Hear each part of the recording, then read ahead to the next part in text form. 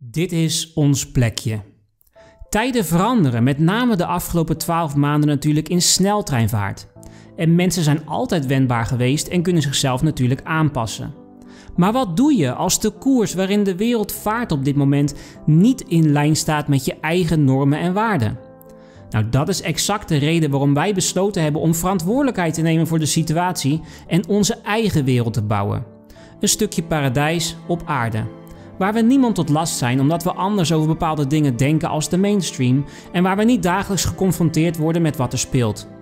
Maar waar we kunnen connecten met elkaar, met de natuur en andere like-minded individuen. Wij willen onze kinderen op laten groeien zoals wij denken dat gezond is. Zonder al te veel regels en controle, zonder mondmaskers natuurlijk, met de natuur en in alle vrijheid, zodat creativiteit en authenticiteit behouden kan blijven zodat ze zelf hun pad kunnen kiezen en bewandelen en uit kunnen vinden wie ze zijn. Dat ze kunnen onderzoeken, kunnen aanvoelen en kunnen ervaren wat het leven hen te bieden heeft om zo voor zichzelf tot conclusies te komen. Want wij denken dat dat onze natuurlijke staat van zijn is. Je hoeft niet klakkeloos alles over te nemen wat je opgedragen wordt en je hoeft niet onderdrukt te worden en in angst te leven. Op die manier kan energie namelijk niet stromen en staat innovatie stil en wordt liefde geblokkeerd. Wij creëren hier een plek in de bergen van Gran Canaria waar energie kan stromen en waar veel licht en liefde is. Waar we zelfvoorzienend zijn en waar we zelf onze groente en fruit verbouwen, waar een waterbron is en binnenkort alles via zonne-energie gevoed wordt. Het is een keuze die we gemaakt hebben voor onze toekomst.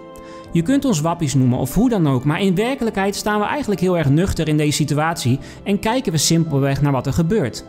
We gingen namelijk van was je handen wat vaker naar intelligente lockdown, naar zonder test kun je niet vliegen, naar een avondklok, naar als je straks geen vaccinatie neemt, dan word je in sommige banen vriendelijk verzocht om iets anders te gaan zoeken. Wie weet waar we over een jaar staan. Wanneer jij op de buienradar kijkt en de kans is groot dat het gaat regenen, dan neem je natuurlijk een paraplu mee. En voor mij is dit niks anders.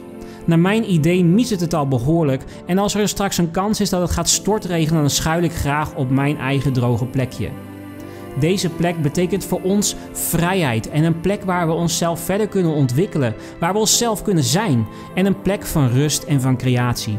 Het enige wat ik hoop voor je is dat je voor jezelf ook een dergelijke plek hebt of creëert. Natuurlijk hoeft het niet zo te zijn als dat van ons. Dit is slechts een kwestie van smaak. Maar ik hoop dat je je veilig voelt op jouw plekje. Om te leven zoals dat je zelf wilt. Ongedwongen en niet hoe het wordt opgedragen.